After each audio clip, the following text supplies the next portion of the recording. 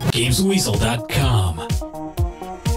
Review Street Fighter 4 on the consoles is probably the best of the entire series, and now it's time for it to migrate to the 3DS and send everyone's eyes a bit wonky. As you'd expect, it's not in gorgeous HD, but the graphics are fantastic and the 3D element works well without giving you too much motion sickness. They've even included the dynamic mode, which looks at the 2D action from 45 degrees and really gives the game depth in 3D, even though it's a bit distracting for people used to fighting side on. If you're not familiar with the game, it's pretty much the same as the console version. The game includes arcade mode where you choose a fighter, beat opponents up, then fight your rival and then the final boss, Seth. The stories are pretty weak, but it doesn't really matter why they're fighting, just that they are and it's all great fun. There's also versus mode if you just fancy a quick battle against the CPU, someone else in the same room, or someone online. Matchups are random if you choose a ranked internet match, and it's a mixed bag as to whether you get a quick, smooth connection or a jerky one depending on where your opponent is in the world. During fights, you use the low, medium, and hard kicks and punches. The hard attacks can be tricky to execute at times because they're on the shoulder buttons, but you can assign attacks and ultra and super combos to the touch screen, which really does change the way people play online. Because even someone new to the game can pull off some quite tricky moves, the game becomes more tactical, which means a newbie can beat a pro if they get their timings right and have luck on their side. There's something very playable about Super Street Fighter 4 on the 3DS, probably because you can take it anywhere and the battles are over quickly.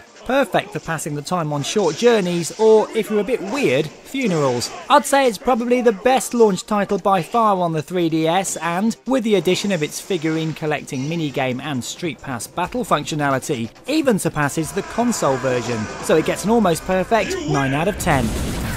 You've been watching a review from Games Weasel. If you want to get the show each week, which includes video game reviews, news, previews, competitions, and special features, then head over to GamesWeasel.com for our video podcast, Games Weasel TV. GamesWeasel.com.